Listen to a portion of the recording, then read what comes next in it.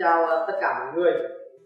À, trong thời gian vừa qua thì à, công ty luật của tôi có chia sẻ một số video à, mang chủ đề là à, tư vấn uh, bên uh, lĩnh vực luật. Ở trên à, kênh youtube mai tiến luật và ở trên facebook. Thì à, chúng tôi rất được nhiều như là người nhiều và như là người tham gia vào để xem và bình luận rất nhiều.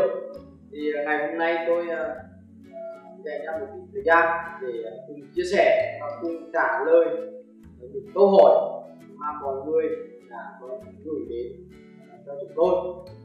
Thì ở đây tôi có rất là nhiều câu hỏi nhưng mà tôi sẽ chọn ra một vài câu hỏi chung để chia sẻ cùng với mọi người, để mọi người được được rõ kiểu như là ờ, phần của mình chưa nắm hoặc là mình đang gặp phải những cái vấn đề rắc rối về pháp lý. Thì ờ, đối với câu hỏi thứ nhất à, ở đây có một người đặt câu hỏi cho tôi nội dung như sau. Vợ chồng à, tôi à, đang làm thủ tục ly hôn và chúng tôi có một con chung. Vợ tôi là người không có trách nhiệm đối với con. Như vậy thì tôi phải làm thủ tục như thế nào? Thì được nuôi con thưa luật sư thì đối với câu hỏi này thì à, tôi cũng à, rất à, chia sẻ đối với bạn là gia đình của bạn đã thực hiện thủ tục ly hôn. Thì đối với cái công việc của bạn mong muốn là muốn được nuôi con mà con mình hiện tại mới một tuổi.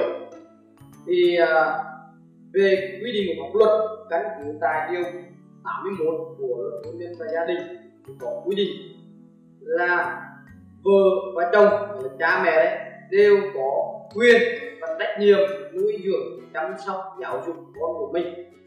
Đấy.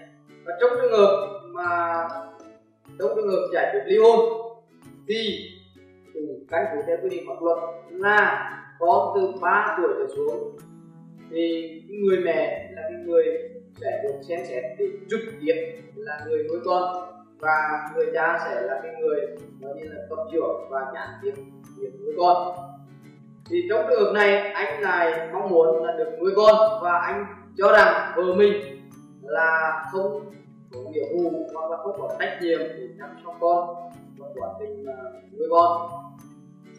Thì uh, theo quy định pháp luật căn cứ tại điều 85 của luật hôn nhân và gia đình năm 2014 có quy định thì người nào mà có cái hành vi nghĩa là đã uh, coi như là, là, là kết án đấy về trong các cái hành vi ví dụ xâm phạm đến tính mạng sức khỏe nhân phẩm danh dự của con hoặc có những hành vi nghiêm trọng uh, về nghĩa vụ trông nom chăm sóc nuôi dưỡng giáo dục con. Đấy. Hoặc là phá tán tài sản của con.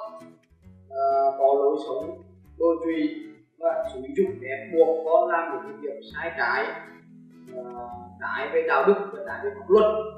Trong trường hợp này luật có thể hạn chế quyền trực tiếp của con.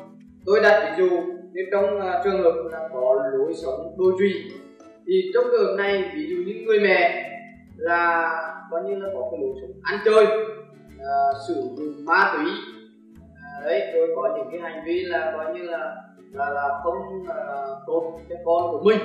Khi mà con mình trực tiếp ở với người mẹ này, thì dẫn đến là coi như có thể là sau này con của mình nó sẽ ảnh hưởng à, đến lối sống tư duy của người mẹ. Thì coi như là cá nhân, cơ quan tổ chức hoặc là tòa án có thể coi như là trực tiếp để mà đề nghị là cha con cho người cha hoặc là người khác trong non trong trường hợp mà người mẹ có lối sống đô trụy trong trường hợp này đối với cái sự việc của anh thì anh có thể là đưa ra những cơ sở để chứng minh người vợ của anh là không có trách nhiệm chăm sóc nuôi dưỡng con trong quá trình mà chúng sống với chồng với nhau để tòa có căn cứ là giá con cho anh luôn.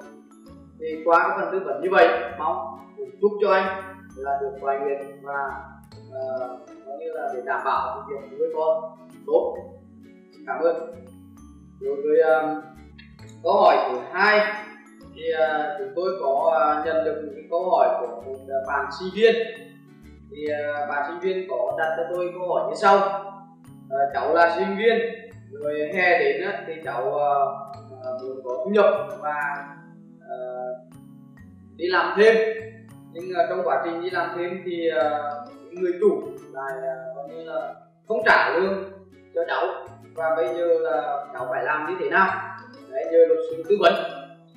Thì uh, đối với trường hợp của bạn sinh viên này thì uh, điều đầu tiên đó, là bạn là một sinh viên bạn nhân dịp hè bạn có đi làm thêm để kiếm thêm thu nhập cho bạn và giúp cho gia đình.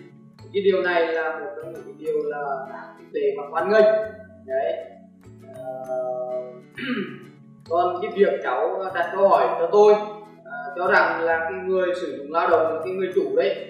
Là khi mà cháu để lao động xong thì không trả cái tiền lương thì bây giờ phải làm như thế nào? Thì à, trong trường hợp theo quy định à, ở bộ luật lao động, đấy, ở cái điều 22 thì có quy định về cái loại hợp đồng. Trong trường hợp này là khi mà giao kết hợp đồng với nhau thì bên người sử dụng lao động và người lao động có thể thực hiện các cái à, hợp đồng. Ví dụ hợp đồng xác định thời hạn, hợp đồng không xác định thời hạn hoặc là hợp đồng theo mùa vụ. Thì trong trường hợp này khi bạn uh, là sinh viên có thời gian trong là 3 tháng hè thì uh, có thể là trao đổi với cái người sử dụng lao động để người sử dụng lao động sắp xếp cho mình một cái công việc hợp lý và trả lương theo thỏa thuận. Đối với trường hợp của bạn mà người sử dụng lao động không thực hiện nghĩa vụ trả lương cho bạn theo thỏa thuận thì bạn có thể gửi đơn à, coi như là khiếu nại à, có thể gửi đơn à, giải quyết yêu cầu giải quyết đến à, hoặc là khởi kiện đến coi như là cơ quan nhà nước có thẩm quyền. Đấy ví dụ như à, công đoàn cơ sở địa phương hoặc là cơ quan tòa án là nơi giải quyết trực tiếp về cái vấn đề tranh chấp liên quan đến lao động để coi như là cơ quan nhà nước có thẩm quyền xem xét bảo vệ quyền và lợi ích cho bạn. Và ở đây tôi cũng là tư vấn như vậy để bạn tham khảo thêm để tìm nơi để bạn đi gửi đơn. Đó, ờ, để coi như là yêu cầu giải quyết cái vấn đề mà lương phản cho bạn chúc bạn may mắn.